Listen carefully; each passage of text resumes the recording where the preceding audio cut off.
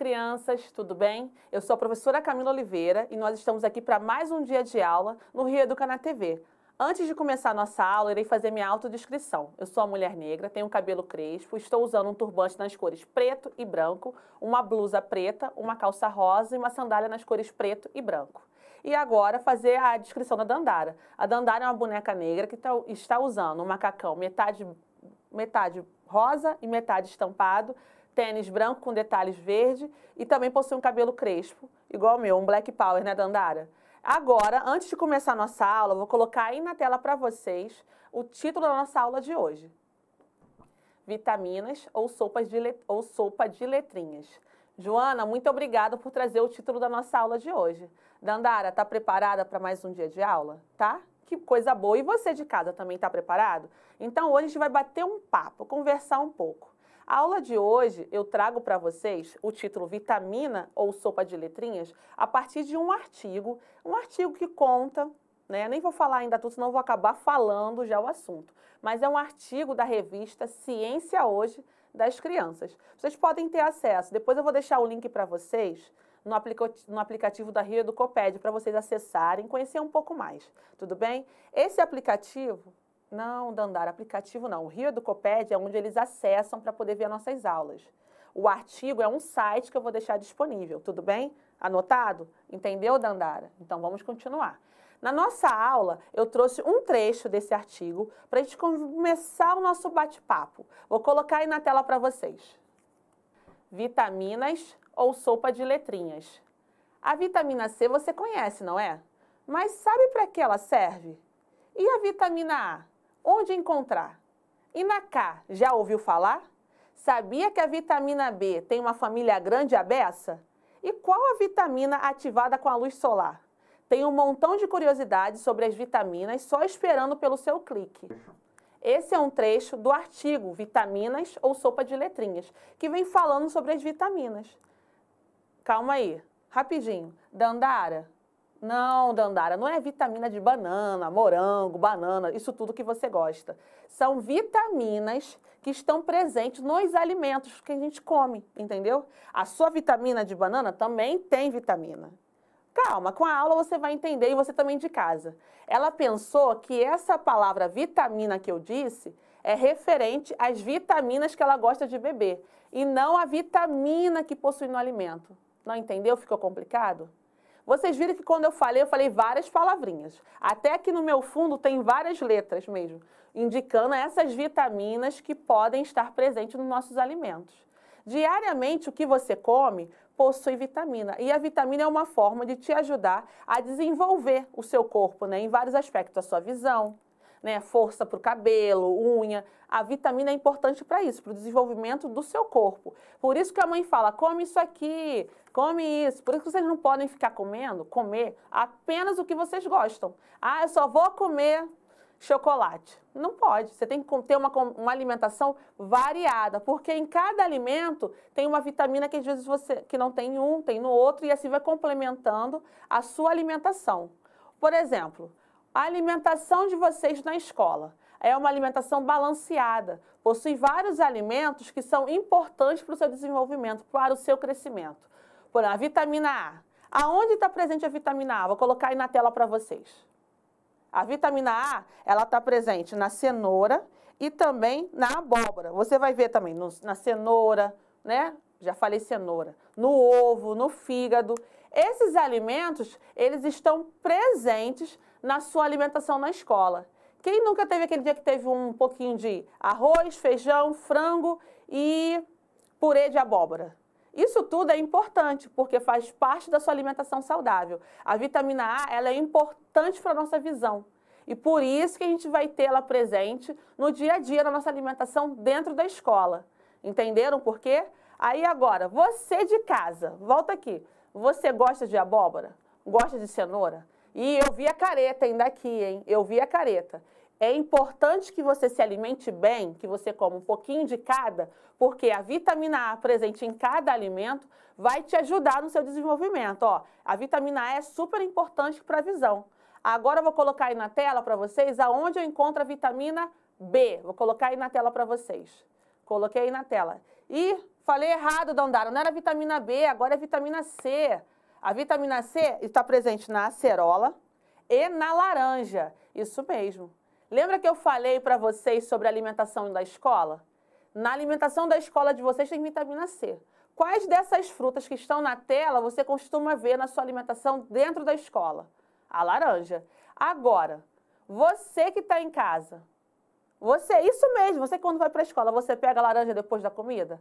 Não? Vocês não sabem o que você está perdendo. A laranja ela é muito importante para ajudar o seu sistema imunológico, ou seja, o que vai te dar força para você resistir, ficar forte. Então, não deixe de pegar aquela laranja no final. Comeu, pegou o prato com a tia da, com a merendeira, depois você pega a sua fruta e come. Porque a laranja, ela vem com esse, ela dá esse complemento na sua alimentação, da vitamina C. Lembra que eu falei anteriormente do purê de abóbora, que tem vitamina A? A vitamina C te ajuda a não pegar um resfriado, a fazer com que o seu sistema de imunidade aumente. Então, ó, fica ligado. E tem outros alimentos com vitamina C. Eu falei, ó, laranja, tem a acerola. Qual é a outra, Dandara? E tá complicando. Dandara, Dandara. Tem vários alimentos, a taioba. Então, eu vou deixar uma lista depois que acabar a nossa aula. Você vai acessar lá no link de ampliação para você conhecer mais alimentos que possuem a vitamina C. Agora, vou colocar na tela mais uma vitamina para vocês. Vamos adivinhar qual é? Vitamina D. A vitamina D ela é presente, está presente no leite e no queijo. E ela é muito importante porque auxilia né, no desenvolvimento do nosso organismo, fortalecimento dos nossos ossos, dos nossos dentes. Então, é fundamental para vocês que estão na fase de crescimento. Não pode dar mole sem tomar vitamina D. Ó, no café da manhã da escola sempre tem uma vitamina, uma vitamina de banana que usa o leite, às vezes é café com leite. Isso tudo é importante para o seu desenvolvimento. Então, você está dando mole, não perde mais tempo. A vitamina D, e tem uma coisa, lembra que no começo do texto eu falei para vocês que na vitamina D tem um, não na vitamina D, tem uma vitamina que ela é acionada, né, ativada com a luz solar é a vitamina D. Ela te auxilia. Então, se você está bebendo leite direitinho, né? Todos os dias, na escola, na hora do café da manhã ou no lanche, quando você pega o sol, ela também ajuda a ativar. Então, tem vários segredinhos no mundo das vitaminas. E agora que eu falei várias vitaminas para vocês, que foi, Dandara? Tá, calma aí, o pessoal vai começar a falar com a gente. Ah, tá. Ela tá falando que tá parecendo uma sopa de letrinhas essas, essas letras todas, vitamina D, vitamina C, vitamina A, e tem muito mais por aí. Mas eu trouxe algumas para a gente bater esse bate-papo. Mas parando para pensar, a sopa de letrinhas também deve ter muitas vitaminas, né? Deve ter um monte. Eu trouxe para vocês uma receita de, vi de vitamina, não, né, Dandara? Uma receita de sopa de letrinhas. Vou colocar aí na tela para vocês. Coloquei. Mas você gosta de sopa? Hum, também gosto. Vou colocar aí na tela para vocês uma sopa de letrinhas e eu quero que vocês adivinhem qual é a palavra que está do lado, tipo forca. Vocês se lembram? Então, vou colocar aí na tela para vocês. Observem a letra dessa sopa e que palavra que eu devo montar ali, que deve aparecer. Olha, eu já falei essa palavra várias vezes na aula de hoje. Eu acho, vou dar mais uma dica para vocês de casa. A palavra está no título da nossa aula. Vitaminas ou Ainda está na dúvida? Calma, vou colocar, anota aí no papel qual é a palavra que você consegue montar que vai encaixar aí nas quatro linhas do lado.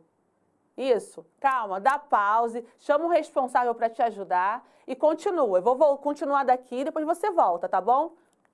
Ó, a palavra que está na tela é sopa. Eu tirei até as letrinhas do prato e coloquei do lado, ó, sopa. Quantas vezes, você aí de casa, quantas vezes nós abrimos a boca para falar sopa? Você sabe, Dandara? Você de casa já sabe? Então vamos contar. Sopa. Duas vezes eu abro a minha boca para falar a palavra sopa. Mas falando em sopa, né, a gente já falou de vitaminas, mas agora nós estamos falando de sopa. Será que na sopa tem vitamina? Isso aí, Dandara, claro que tem. Já que eu falei que alguns alimentos possuem vitaminas, vários alimentos que estão na sopa possuem vitaminas. Vou colocar a receita aí na tela para vocês. Ó, a receita, uma sopa de letrinhas, olha que gostoso. Hum, eu acho que vou fazer hoje quando chegar em casa. Aí agora eu vou colocar a receita, ó. Sopa de letrinhas. Uma cenoura grande picada. Lembra que eu falei que a cenoura tem vitamina o quê? Vitamina A. Cebola picada, alho, frango. Ó, eu vou deixar essa receita aqui para vocês no final da aula, você dá o pause, nessa, nessa parte da aula, chama o seu responsável e mostra. Olha como que é gostoso, né? Pede para fazer uma sopinha para você, ou melhor, quando estiver na escola, coma tudo. Você vai ver como você vai se sentir mais forte. Ó, nessa, nessa receita tem frango, tem batata, mandioca, salsinha e macarrão. Mas isso aqui é um gênero textual, que é a receita. E como que eu identifico essa receita como um gênero textual? Eu tenho alguns elementos, ó, ingredientes e o modo de preparo. O ingrediente, né, como a gente está falando de sopa de letrinhas, o principal que vai para se tornar uma sopa de letrinhas tem que ter letras. Então eu destaquei lá embaixo para vocês, macarrão de letrinhas a gosto. Você coloca, né, você não, o seu responsável vai colocar a quantidade de acordo com o gosto de vocês. E do lado o modo de preparo, como que faz? Refogar no azeite, o alho, a cebola. Ó, mas voltando para cá. Ó, depois, quem sabe numa outra aula, eu já fiz brigadeiro, quem sabe eu não faço uma sopa. Vocês que sabem, vamos deixar isso para uma outra aula. Mas vocês perceberam que hoje, na nossa aula, a gente falou sobre a importância de uma alimentação saudável e como que vários alimentos, eles contribuem né, para o nosso desenvolvimento do nosso corpo, para o nosso crescimento. E, de fato, parece que é uma sopinha de letrinhas. Por quê? Cada vitamina, a vitamina A, tem a vitamina B também, que é uma família vasta, B1, B2, B3, tem a vitamina C, a vitamina D. Elas são importantes para o nosso desenvolvimento. Então, na hora que você parar para comer agora, na próxima vez, para e pensa como que é importante ter essa variação. Por isso que nas, nas unidades escolares, na sua escola, a nossa merenda, né, todos os dias ela tem uma alimentação variada. Você vai ter abóbora num dia, vai ter uma fruta um dia banana, no outro é laranja, e assim você vai tendo uma diversidade na sua alimentação, fazendo com que você tenha acesso a vários tipos de vitaminas em uma única refeição. Então fica ligado, fica esperto. Mas antes de acabar nossa aula de hoje, né, eu não posso deixar de colocar na tela o nosso desafio. Vou colocar aí na tela, desafio de hoje, né? Vitaminas ou sopa de letrinha? Letrinhas, tudo bem, Dandara? Converse com seu responsável sobre a importância das vitaminas na alimentação. Então, ó, converse com seu responsável como que é importante que você tenha, não só você, mas também ele ou ela, tenha acesso a uma alimentação saudável. E se você está na escola, não perca tempo. Na hora da merenda, pegue o seu prato e agora você já sabe a importância de ter uma alimentação variada e balanceada. Ó, um beijão para vocês. Ah, calma aí, a Dandara quer se despedir. Vamos lá, Dandara, pronto, agora chegou a sua vez. Um beijão para vocês. Um beijo. Mais atividades como essa, você já sabe. Claro, Dandara, você encontra no seu material Rio Educa para fazer com seu professor ou professora. Um beijão e até a próxima aula. Tchau!